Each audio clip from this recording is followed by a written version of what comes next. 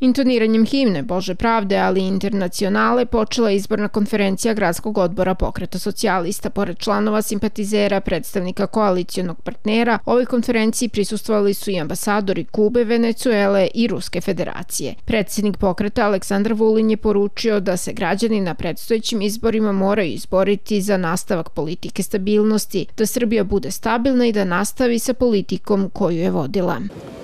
Pokret socijalista je partija borbene levice. Još od 2008. godine, kada smo osnovani, mi smo izabrali da budemo saborci sa Srpskom naprednom strankom, izabrali smo da budemo saborci sa predsjednikom Aleksandrom Vučićem, koji uživa naše apsolutno poverenje i našu apsolutnu podršku. Pokret socijalista je tu, pokret socijalista je tu da nastavi svoju politiku, politiku socijalne pravde, politiku vojne neutralnosti i politiku zaštite Srba gde god oni da žive. Pokret socijalista će izaći sa Srpskom naprednom strankom na svim listama, od republičkog do lokalnog nivoa. Mi smo tu da nastavimo borbu. Pokret socijalista može da bude na vlasti, može da bude na opoziciji, kako god građani budu rekli, ali pokret socijalista nikada nije i nikada neće promeniti stranu. Mi sa partijama DOS-a nikada nećemo biti na istoj strani, mi ćemo biti uvek i samo i jedino na strani Srbije.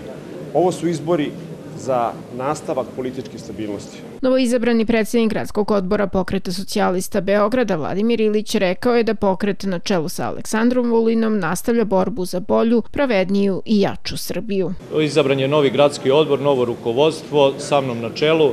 60 e, delegata je praktično izabralo novi gradski odbor koji broji isto toliko e, e, članova gradskog odbora Nastavljamo i dalje politiku koju vodimo zajedno sa našim predsednikom Aleksandrom Bulinom još od 2008 godine. Ispod crvenog barjaka nastavljamo da se borimo za Srbiju koja treba da bude bolja, pravednija i, i snažnija ekonomski i u svakom drugom smislu. Pokret socijalista je uvek bio odan i iskren prijatelj SNS-a, rekla je u ime koalicijonog partnera član predsedništva ove stranke Biljana Popović-Ivković i poručila da se na brojne izazove koji ih očekuju u budućnosti mora odgovoriti jedinstveno uz podršku prijatelja. Čekaju nas izbori, oni neće biti jednostavni, zapravo biće teški, ali mi smo spremni da se jedinstveno suočimo sa svim problemima, da otvoreno pogledamo u oči našim biračima, da im ukažemo na sve ono što smo uradili i naravno da ostvarimo onaj naš plan do 2025. godine